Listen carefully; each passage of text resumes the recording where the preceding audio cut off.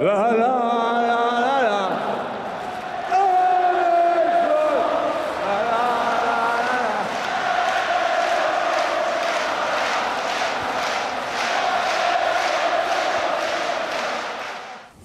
Yes, with that said, we are bringing you an Arne Slot Liverpool tactic.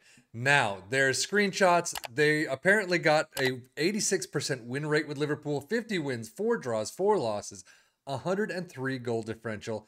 It is pretty crazy. There is a video, so definitely, as always, if there's a video, check it out. It goes more in depth of how they created it, why they created it, and little pieces about that. Uh, unfortunately, there's not a lot of a description, just saying Arne Slot tactic tested at Liverpool, averaged 58% possession and scoring 82 goals and conceding the fewest goals in the league. So we'll see how it does with our teams of, well, Liverpool, Aston Villa, and the championship side of Ipswich Town. So with all that said, let's just jump into the Premier League and see how they did. Well, Premier League looks pretty nice for Liverpool. 86 goals, so higher than the 82 that the tester had now, the tester did do it through a holiday, just like I'm doing it here. They also tried it with Feyenoord. Uh, 71% win rate, 30, uh, sorry, 24 wins, four draws, and six losses. Only 48 goal differential, though. But uh, we got 79 points. is a little bit low for our Liverpool squad. All the tactics that we've been testing, usually it's about 85. But Aston Villa in eighth is a bit low. 61 is about 15 points lower than usual. 61 goals. I definitely worked for Liverpool a lot better than Aston Villa.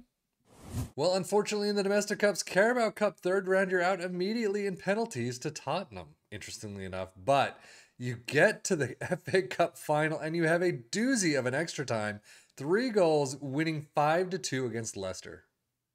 And might as well make it a third trophy of the season, the Europa League final, one all in penalties over Roma. So overall, I mean, Premier League, fantastic. 79 points, one point above Manchester United. It could just be a downturn for the Premier League. But you win the Europa League in penalties. You win the FA Cup in extra time. It took you a little longer to get to these cups, but still, you got them. A three trophy season is pretty nice. Carabao Cup, yeah, that was pretty bad. Squad wise, good amount of green there. 23 goals for Nunez, 19 for Salah, not too bad assists 15 for Luis Diaz, Salah with 14, 13 for Mac Allister, Trent and Robertson all the way down with 12 and 11 apiece. Uh, and then Salah, of course, with a 7 4 0. Well, Aston Villa, I just missed that completely. Lost to Liverpool nil 3 in the FA Cup fourth round. But Carabao Cup, you do get to the final. Unfortunately, you're not able to get past Arsenal nil 1. However, you do get a trophy Europa Conference League final 2 0 over Slavia Prague, and you do beat Fiorentina, our old foes. So competition wise, Premier League is not great. Eighth place. Their uh, media prediction is tenth or thereabouts. So not the greatest right here. They do get Europa League next season by winning the Conference League. So fantastic there. At least you're getting some money out of that. FA Cup, not great. Runners up at the Carabao Cup, not too bad. Overall, you have five in the green. But goals 14 for Zaniolo is the tops, interestingly enough. Assists 13 for McGinn is top, and only one in the double digits and then average rating Emilio Buendia with only four appearances, but Lucas Digne with his 710. Data hub for Liverpool, not dribbling, pretty much though attacking minded. Uh, goals is down than you would expect. I mean, you'd expect definitely through the roof, at least for a top level team or a top of the table team. Goals per game 2.26, 0.79 more than the average, 0.66 conceded, and a 0.74 xG against. Aston Villa really far down in the attacking numbers, sadly, so they didn't do very well. Uh, goals per game 1.61 is definitely down from their average. 1.18 conceded is actually down from their average, which is not too bad. XG against the 1.32. Premier League stats wise, Liverpool with 2.08 points per game. That is definitely down from where we usually see it, up at least 2.2 or thereabouts. Aston Villa on the way in the bottom of the list, but they do make the list 1.61 points per game. Most goals, Liverpool in first with 86. Aston Villa with 61 in seventh. Few shots against Liverpool in second with 242. Aston Villa in eighth with 367. Most possession, 59 to 54%. Uh, most dribbles made, Liverpool making the list 605. Best pass completion, 89% for Liverpool. Aston Villa with 88.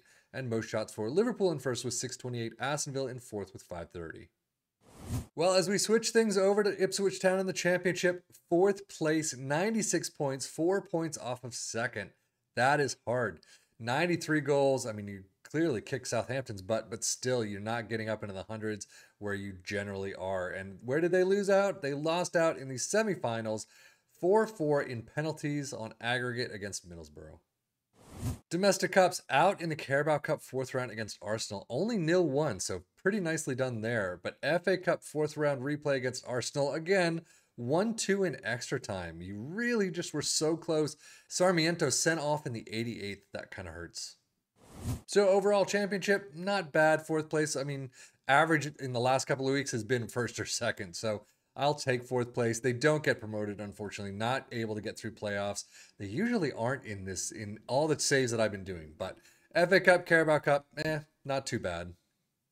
Squad wise, they do get more green than Aston Villa did, but 12 goals is tops for Conor Chaplin, and you get George Hirst all the way down with 16 appearances off the bench with only a single goal.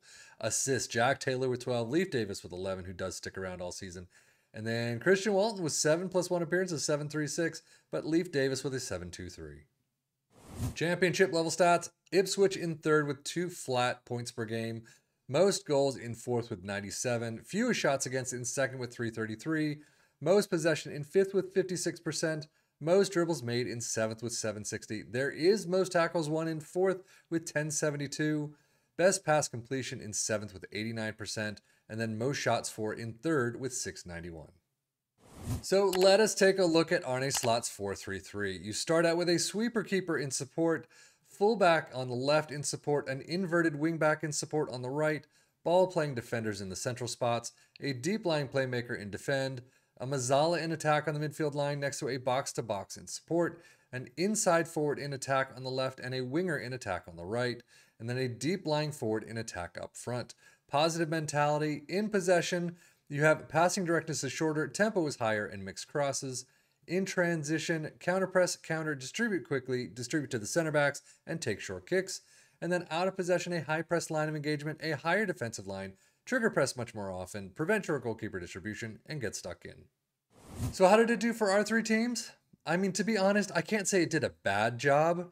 Uh, again, this is a full holiday. I am not taking control of any matches. If you took control of the matches yourself, did your own match shouts, transfers, training, things like that, you could probably do a lot better. Getting Ipswich Town hopefully into those one and two spots, not too bad. Uh, Liverpool got first. I mean, it's hard to beat that. It was a downturn. 79 points at the top is not a high, you know, high amount of points that we usually see. Usually it's in the 90s or thereabouts, but they still get tops. They get 86 goals to the Testers 82. So overall, for Liverpool itself, it seemed to do fairly well.